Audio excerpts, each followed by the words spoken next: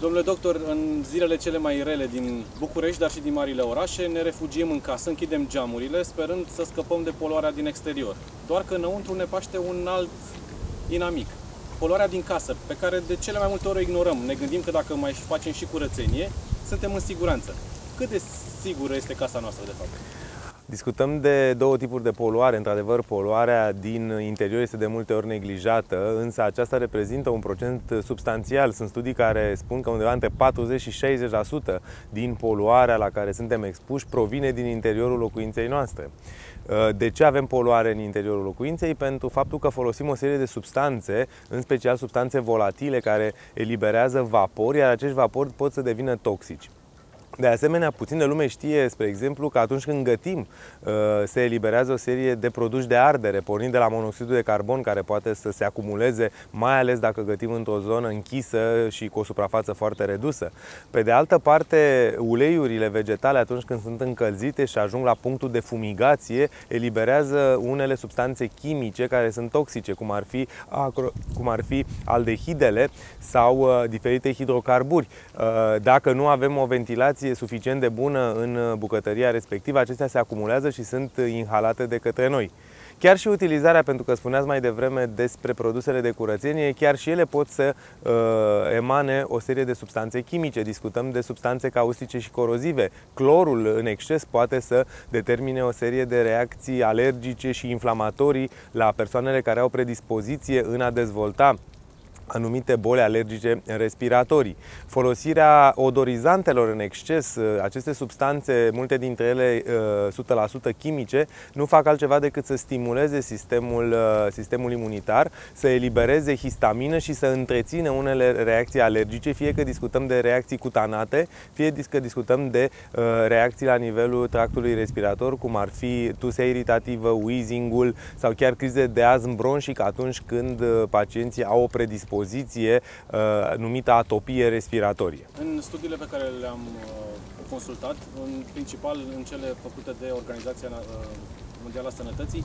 bucătăria pare să fie zona din casă care produce cele mai multe probleme din punct de vedere al poluării interioare. Începând de la particulele emanate de gazul, de la, uh, gazul metan de la ragaz, uh-huh până la substanțele pe care le folosim pentru a face curățenie după ce am, am gătit. Așa este, este cea mai uh, încărcată zonă cu substanțe chimice. Uh, vă spuneam, unele produse în urma arderii. Uh, arderea atât a gazului metan eliberează monoxid de carbon.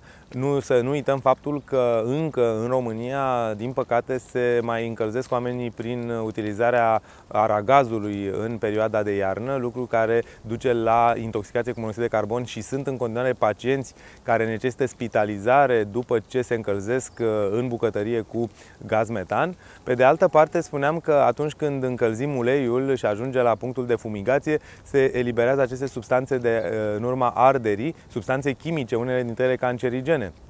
De aceea este bine să nu folosim și să reutilizăm uleiul, pentru că odată ce el a fost ars, aceste substanțe sunt deja prezente în interiorul lui și vor fi într-o cantitate și mai mare la următoarea reutilizare.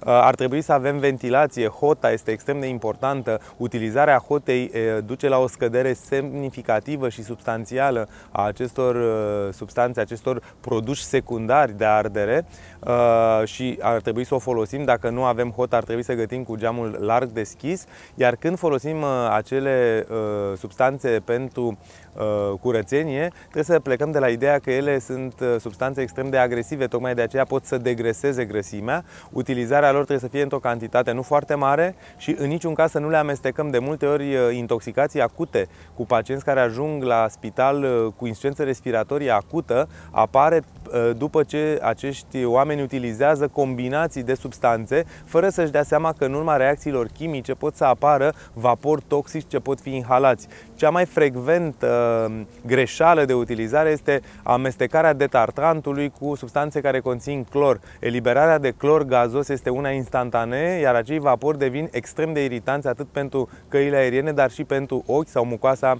orală. Să nu uităm și de fumat.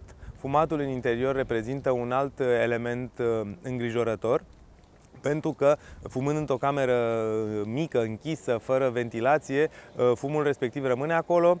Uh, ne întrebăm astăzi de ce foarte mulți copii au alergii respiratorii, pentru că îi expunem foarte mult la substanțe care generează, care se comportă ca un trigger pentru uh, reactivitatea căilor aeriene. Fumatul este un astfel de trigger. Nu să nu uităm, vă spuneam, de substanțele odorizante, aromatizante. Copiii care sunt parfumați, n-ar avea de ce să fie parfumați, să lăsăm să aibă mirosul lor natural.